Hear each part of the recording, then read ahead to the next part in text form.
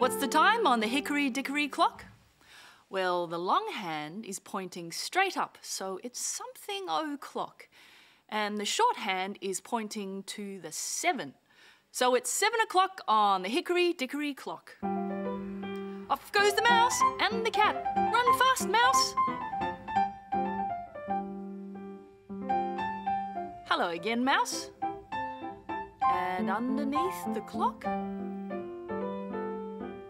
house.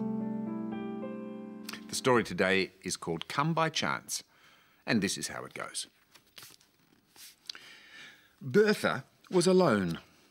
She had walked and walked and was far from anywhere. At the top of the hill, she came upon a tumbled down old house. She peered in. Then she pushed open the door and crept inside. She could see the house had been abandoned long ago. Bertha sat and rested her tired legs, but her mind wasn't resting at all. At last she smiled and set to work. She mended and patched, swept and scrubbed, then weeded and watered, until little by little she had made the house into a cosy home. She named it Come by Chance and nailed up a sign so everyone would know.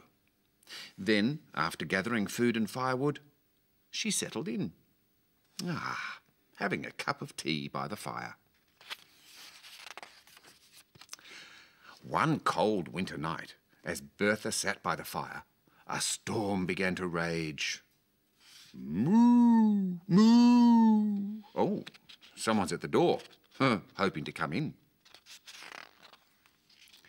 The wind whistled and roared, and the windows rattled and shook. Meow, meow. Oh, Pussycat's at the window. Come in, Pussycat. Dark clouds gathered, then the rain teemed down. Oh, oh, someone else. Honk, honk, honk, honk. In you come, goose, out of the rain.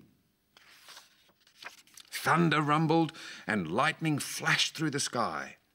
Come by chance was the only shelter in sight. Crash! Boom! Lightning and thunder, and all the animals running to the house. Animals arrived from everywhere.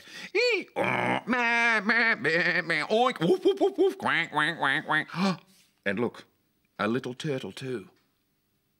They were wet, frightened, and trembling with cold. Bertha welcomed them inside, and in no time at all, everyone had snuggled up by the warm fire. there they are, all snuggling.